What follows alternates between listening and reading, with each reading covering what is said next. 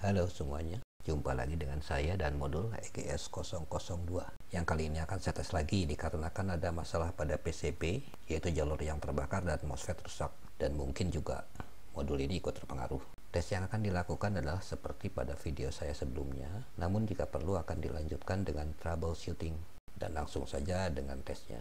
Tegangan VFP di set pada 3 volt, IFP dan TFP pada 0 volt, Kemudian yang nanti akan kita amati adalah LED hijau dan LED merah pada EGS 002. Saya siapkan dulu tegangan 1 12 volt, 5 volt, dan 0 volt pada rangkaian. Dan juga multimeter mungkin nanti diperlukan. Sekarang pasang EGS 002-nya dan nyalakan supply. LED EGS 002 nyala continue, sedangkan LED hijau nyala dua buah. Seharusnya jika kondisi normal, semua LED hijau nyala. LED EGS 002 nyala continue. Di sini mulai terlihat bahwa EGS 002 ini mengalami masalah. Berarti harus dilanjut dengan troubleshooting dengan cara merubah tegangan IFB hingga terjadi alarm. Tegangan IFB pada saat ini terbaca 0 volt, lalu dinaikkan hingga menjadi overcurrent. LED EGS 002 berkedip berarti overcurrent terdeteksi satu LED hijau mati dan yang satu jadi redup. Seharusnya pada saat ini semua LED hijau mati.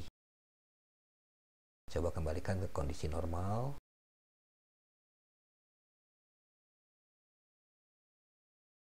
Sudah kembali normal. LED hijau ini dari nyala redup menjadi terang dan yang ini dari tadinya mati menjadi nyala sedangkan dua LED lainnya tetap mati.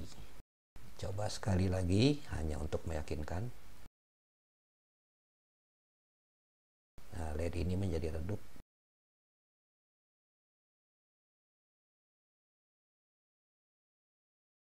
Kesimpulan sementara adalah problem terjadi pada IC IR2110 yang ditunjukkan dengan LED hijau yang nyala atau mati tidak sesuai dengan yang diharapkan.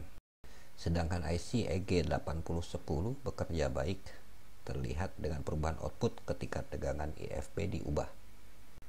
Jadi akan dilakukan penggantian kedua IC IR2110 terlebih dahulu.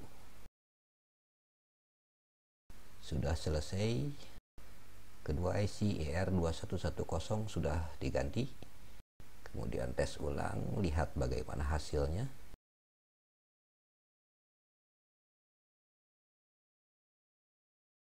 LED EGS 002 berkedip karena IFP lebih dari setengah volt jadi kondisinya overcurrent. Semua LED hijau mati seperti yang diharapkan. Sekarang atur hingga kondisi normal